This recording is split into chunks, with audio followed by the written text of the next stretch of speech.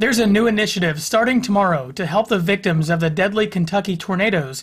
It's being started by a local pastor who hopes to make a positive difference from Brookville to Mayfield. I want all the churches and businesses to come together uh, to support those who have every, has have everything taken from them. You know, their home. Many of them lost their homes.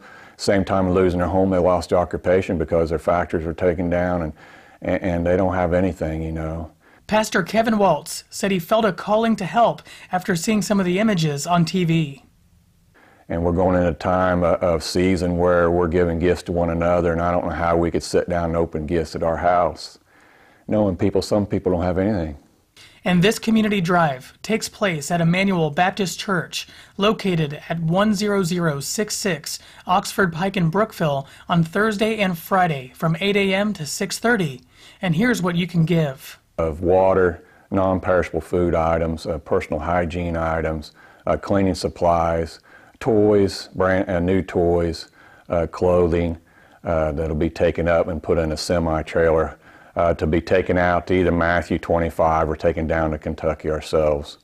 Covering Franklin County, I'm Stephen Harmeyer, and that's the 765.